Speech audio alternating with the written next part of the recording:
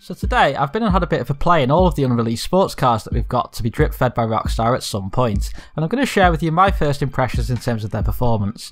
Please note, as always, this isn't official lap time testing, this is just my opinions on their performance based on 5 laps of my test track in each car.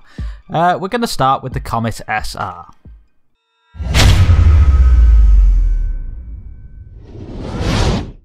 So the Comet SR is a really beautiful vehicle to be honest, perhaps what the original Comet should have been.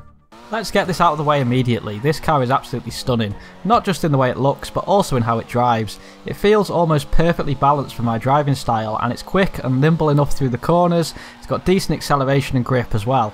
For those who have been in the Project Homecomings uh, FiveM server, the custom Comet they have over there almost feels like this. Perhaps that's where Rockstar got their idea from, I don't know. In terms of the overall pace of this vehicle, I feel like it's going to be somewhere near the top of the sports class to be honest, but probably not on Pariah pace, which has unfortunately broken the sports class.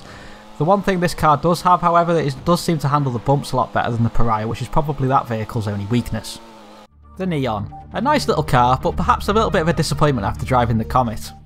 So the Neon is a bit, little bit of an odd vehicle to be honest, as it's actually fully electric. As such, it does share the characteristics we find in most of the electric cars in the game, those being really high acceleration and poor traction and grip through corners.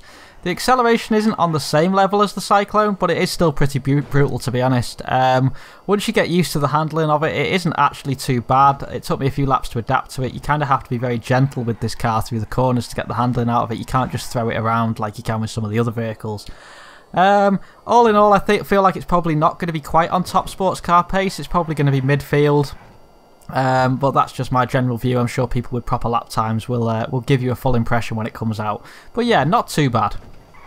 And finally, we've got the Revolter. Perhaps it should have been called the Revolting, although it's not too bad in black. So this car, as we all know, is in the wrong class. It's clearly not a sports car, and I've now discovered it does actually have machine guns as an option on it, so we might not even be able to use it in races. Although the Comet Safari, which came with this DLC, also has um, machine guns, and that can still be used in races, so I guess we'll see. I was quite surprised by this vehicle, to be honest. It's not quick. I don't think anyone expects it to be. However, it drives a lot better than I expected it. It hasn't got spoiler options. It's got no suspension options either, uh, which obviously are two key things around the handling of vehicles. And being quite big, I did expect it to be handling a bit like a boat, but it isn't actually too bad. It just lacks overall pace. For a nice luxury vehicle to put in your garage, I suppose it's not too bad, but I wouldn't buy it for racing to be honest.